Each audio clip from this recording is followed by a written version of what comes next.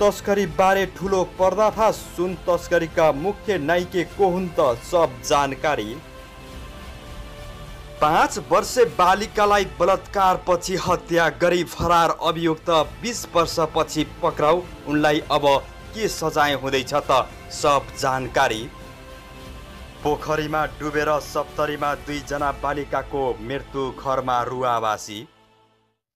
सर्वोच्चले समानुपातिक सांसदहरूलाई पत्र काटेपछि दलहरूमा खैला बैला। चुनाव खर्च नबुझाउने उम्मेद्वारलाई तत्काल जरिवाना नगर्न उच्च अदालतको आदेश। पौडी खेल्ने क्रममा सेती नदीको बीचमा अड्किएका युवाको सकुशल उद्धार। दमकका प्रमुख प्रशासकीय अधिकृतको असली भिडियो बाहिरिएपछि क्वार्टरमा एकाएक रङ रोगन। लम्पी स्क्रिन रोग पीडित किसानलाई राहत दिने सरकारको तयारी। एकाएक काठमाडौँका मेयर पालेन शाहले फेरि पुरै काठमाडौँमा सुरु गरे यस्तो नियम। श्रीमतीको पछिल्लो टिकटक मेरो त बुढाले रक्सी खाँदैनन्। एकपछि अर्को भिडियो सार्वजनिक हुँदै टिकटकमा। र भारतमा चलिरहेको रेलमा गोली प्रहार एक प्रहरी सहित चारजनाको मृत्यु। आजको यो भिडियोमा यो सब अपडेटले हजुरमा आज उपस्थित भइसकेको छु। यो सब जानकारी पाउनको लागि भिडियोलाई सुरुदेखि अन्तिमसम्म फलो गर्नुहोला। केही सुझाव सल्लाह छ भने तल कमेन्ट गर्नुहोला। भिडियोलाई सक्दो सेयर गरी सबै नेपालीसम्म पुर्याउन मद्दत पनि गर्नुहोला। हजुरको एउटा सेयरले गर्दाखेरि धेरै नेपालीलाई केही न केही जानकारी मिल्नेछ। मैले आफूले जानेका बुझेका कुराहरू हजुरहरूलाई बताउने गर्दछु।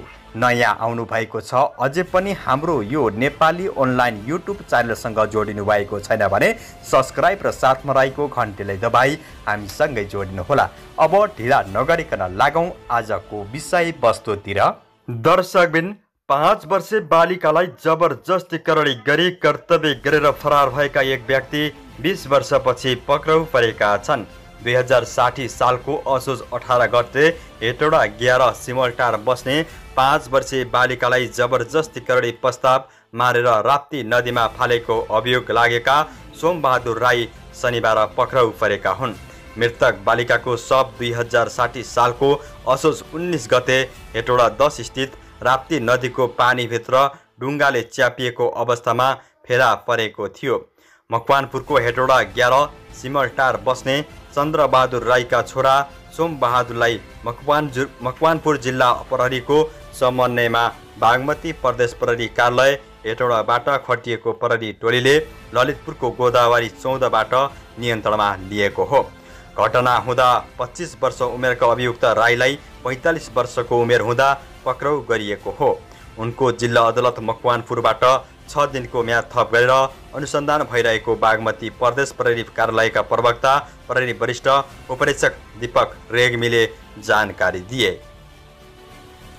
त्यस्तै दर्शकबिन पोखरीमा डुबेर सप्तरीमा आज दुईजना बालिकाको मृत्यु भएको छ।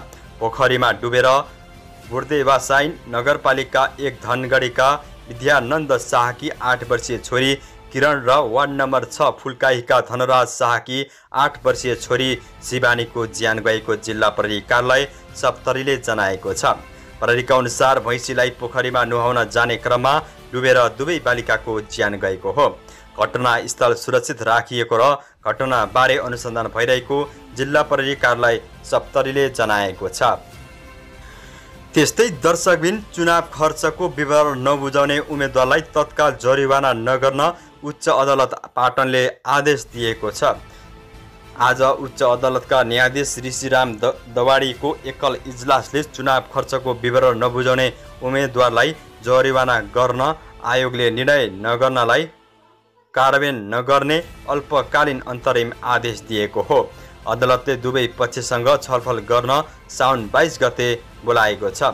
आयोगले चुनाव खर्चको विवरण नबुझाएको भन्दै पन्ध्र हजार रुपियाँ जरिमाना तोकेपछि राष्ट्रिय स्वतन्त्र पार्टी राजसभाका सांसदहरू विराज भट्ट भक्त श्रेष्ठ सोभिता गौतम शिशिर खनाल र गणेश पराजुलीले उच्च अदालतमा रिट दर्ता गरेका थिए। गएको मङ्सिर चार गते भएको प्रतिनिधि सभा र प्रदेश सभा चुनावको खर्च विवरण नबुझाएको भन्दै आयोगले पन्ध्र हजार रुपियाँ जरिमाना गर्ने निर्णय गरेको थियो। त्यस्तै दर्शकबिन सरकारले महामारीका रूपमा देशव्यापी रूपमा फैलिएको लम्पी स्क्रिन रोग पीडित किसानहरूलाई राहत दिने प्रक्रिया अगाडि बढाएको छ। मङ्गलबार बस्ने मन्त्री परिषदको बैठकबाट राहत सम्बन्धी आवश्यक निर्णय गर्ने तयारी गरिरहेको छ। प्रधानमन्त्री निवास बालवाटरमा आज कृषि तथा पशुपन्छी विकास मन्त्री डाक्टर बेदुराम भूषाल लगायत सम्मिलित बैठकमा प्रधानमन्त्री पुष्पकमल दाहाल प्रचण्डले महामारी प्रभावित किसानलाई राहत दिन र त्यसको आवश्यक गृह कार्य गर्न निर्देशन दिएका हुन्। सो अवसरमा प्रधानमन्त्री प्रचण्डले पछिल्लो समय पशुहरूमा देखिए देखिएको लम्पी स्क्रिन रोग नियन्त्रण गर्न सरकारले गम्भीर रहेको बताए। लम्पी स्क्रिनको बारेमा यसअघि नै आफूले कृषि मन्त्रालय र अर्थ मन्त्रालयसँग लगातार छलफल गरेको बताउँदै प्रधानमन्त्री दाहालले कृषि र अर्थसँग पशुमा लागेको रोगको विषयमा भएको कुराकानी प्रचारण नभएको समेत बताए। लम्पी स्क्रिन रोग यसअघि दुई वर्ष अगाडि नै भारत र चिनमा देखिएको उल्लेख गर्दै प्रधानमन्त्री प्रचण्डले यो रोग यसअघि देखिएका छिमेकी देशबाट सिकेर बेलैमा नेपालमा तयारी गर्न नसक्नु कमजोरी भएको बताएका छन्। त्यस्तै दर्शकबिन कास्कीको माछापुच्छ्रे गाउँपालिका एक खिलाङमा सेती नदीको बिच भागमा अड्किएका एक युवकको सकुशल उद्धार गरिएको छ। पौडी खेल्ने क्रममा नदीमा अड्किएका युवकको आइज परैले सकुशल उद्धार गरेको हो। सुर्खेत जिल्ला घर भई खिलाङ बस्दै आएका एक्काइस वर्षीय तेजबहादुर घरती मगर पौडी खेल्ने क्रममा नदीको बिच भागमा अड्किनु भएको थियो। नदीमा अड्किएका मगरको चौबिस नम्बर कालिका गण कास्कीबाट खटिएको गोताखोरसहितको टोलीले उद्धार गरेको हो। त्यस्तै दर्शकबिन भारतको महाराष्ट्रमा चलिरहेको रेलमा गोली प्रहार हुँदा एकजना प्रहरीसहित चारजनाको ज्यान गएको छ। पालघर रेलवे स्टेसन नजिकै जयपुर मुम्बई एक्सप्रेसमा यात्रा गरिरहेका चारजनालाई रेलवे सुरक्षा बल आरपिएफका एकजनाले गोली प्रहार गरेका भारतीय सञ्चार माध्यमले जनाएका छन्। जयपुरबाट मुम्बईका लागि छुटेको रेलमा यस्तो घटना भएको हो। गोली चलाउने व्यक्तिलाई परेले पक्राउ गरेको छ। घटना के कारणले भयो भन्ने बारे केही खुलेको छैन। यात्रा गरिरहेका बेला रेलमा अचानक गोली चलेको प्रत्यक्षदर्शीले बताएका छन्। घटनाको अनुसन्धान भइरहेको भारतीय प्रहरीले जनाएको छ।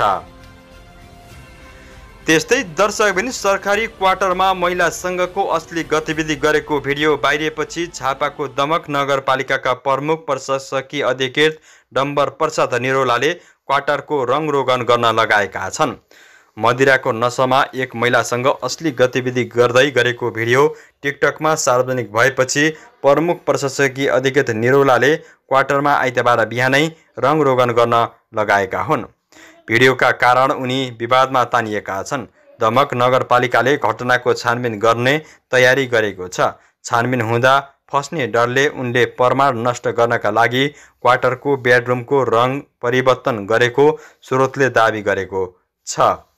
टिकटक भिडियो लाइभमा देखिएको हरियो रङ बदलेर उनले कोठामा पहेँलो रङ लगाएका छन्। उक्त कोठामा देखिएको एसीले भिडियो सार्वजनिक भएको कोठा नगरपालिकाकै क्वार्टर भएको पुष्टि भएको छ। शनिबार सार्वजनिक भएको भिडियोमा निरोला र महिला दुवै मदिराको नसामा देखिन्छन्।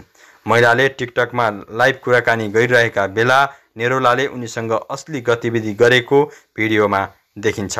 आलोचना भएपछि निरोलाले भिडियो काठमाडौँको भएको दावी गरेका नगरपालिकाका स्रोतले बताएको छ। दमक नवल नगरपालिकाकी उपप्रमुख रेगिना भट्टराई प्रशासनले प्रमुख प्रशासकीय अधिकृतको कार्य आपत्तिजनक रहेको बताइन्। घटनाको छानबिन गर्न नगरपालिकाले समिति बनाउने उनले बताइन्। उहाँको गलत क्रियाकलापप्रति हामी भर्सना गर्छौँ हाम्रो आपत्ति छ उनले भनिन्। गलत गर्नेलाई कारवाही गर्नुपर्छ नगरपालिकाबाट समिति बनाएर अनुसन्धान गर्छौँ। उनले क्वार्टर घटना भएको हो कि होइन भन्ने विषयमा आफूलाई जानकारी नभएको बताइन्। पहिले पनि हल्ला खल्ला सुन्ने हिजोबाट समाचार नै आएको छ उनले भनिन्। मलाई चाहिँ नगरपालिकाका भित्रको होइन होला जस्तो लाग्छ तर भिडियो हेरेको छैन। नगरपालिकाको भिडियो हो भने झन् धेरै गलत हो उनले भनिन्।